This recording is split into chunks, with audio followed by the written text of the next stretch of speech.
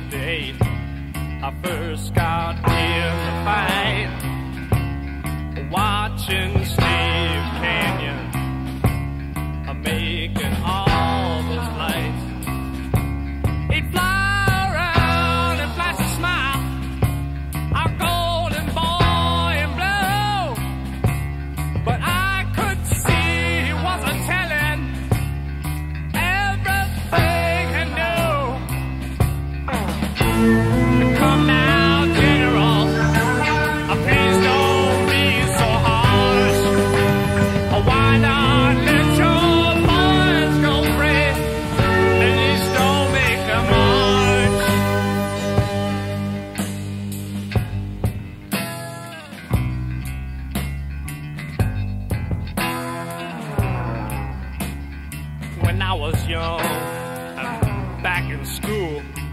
I never ever fought.